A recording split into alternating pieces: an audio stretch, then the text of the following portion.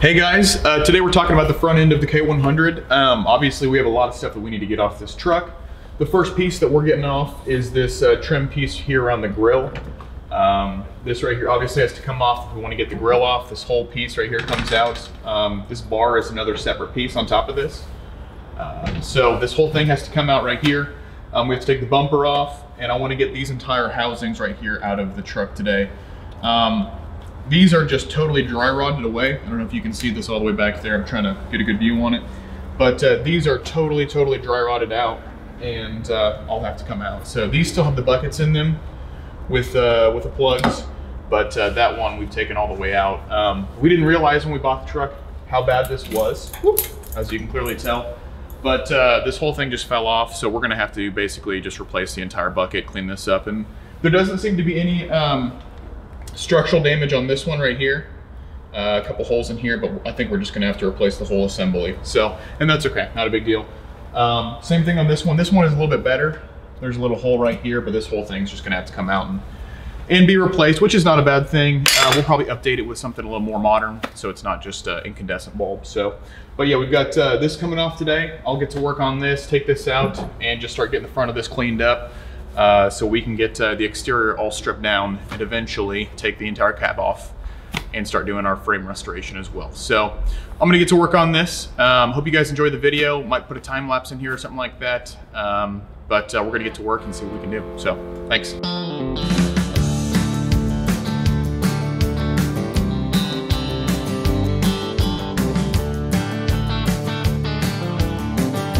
Okay guys, we got the big camera out again. Um, this is kind of unstable, so I'm sorry, but um, we're working on the side of the truck right now. I have all of the bolts on the bumper, including this one right here that's stuck with my socket there. Um, the, the bolts on the front of the bumper are giving me a really hard time. Obviously, one of the biggest concerns that we have with this truck is the problem with just um, old bolts, old rust and stuff like that. And I'm trying not to shear anything off um, but we have everything covered in WD-40 right now.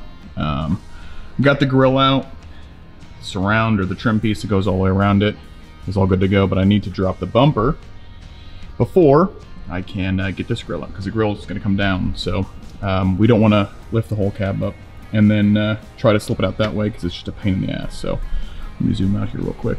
But uh, besides that, got the trim pieces off. I did shear off one bolt. Come on, focus there. Yeah, we sheared off one bolt right there on the grill. So I know that might be a problem here later on.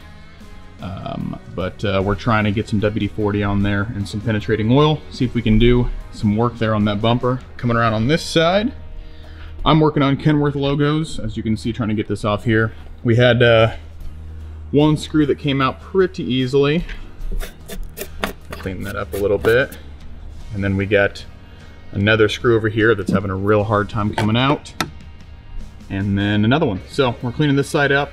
Um, like I said, I really don't care if there's oil all over this truck because it's going to get repainted anyway, but we're slowly working through it. Lots of stuff to go. Doors are still intact. Ladders will come off here at some point, but we're just working away at it, uh, trying not to break any bolts, so we'll see what happens.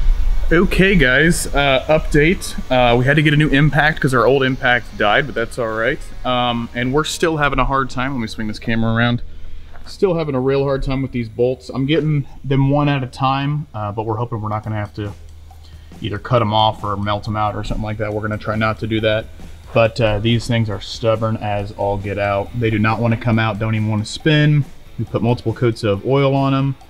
Uh, and they've been sitting for probably two or three weeks with just oil on them getting in there and we put multiple coats on them so if anybody has a really really good tip for getting these old bolts out, let me know. I know I've heard a lot of different stuff, uh, like the uh, the Crenzoil or whatever it is, uh, a whole bunch of other different products that get stuff out pretty well. But if you have any tips for these, please let me know because uh, the old WD-40, while it's doing a good job, I'm sure we could probably get these out easier somehow.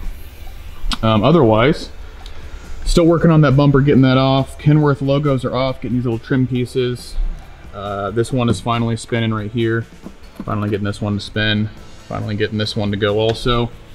Um, besides that, just trying to take stuff off. Um, I'm going to tackle these um, headlight lamps, the buckets here at some point. The weird thing about these is if you can see, they got a little weird screw there. Then they got some kind of different screw up top. It's kind of a weird way that they mounted these in here with a whole bunch of different fastenings, so it might be a trip to get out of here, but we will try. All right, guys, gonna take a quick break here from the cab over real quick, but this is our delivery truck, which is a 1973 C10 with a big block 454 in it, 10 and a half to one big block in here, built by S&S Streetcars, right down the road here in Lafayette, Indiana.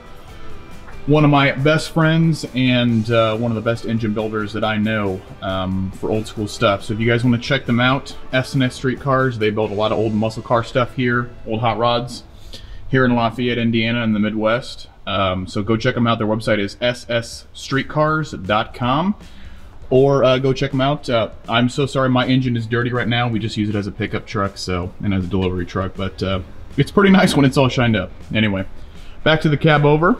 Bolts are still giving me a lot of trouble. That's been my fight all day long, all morning long. Is these damn bolts right here? Excuse my French. Um, there you go. None of them out yet. More oil. A couple of them are loose.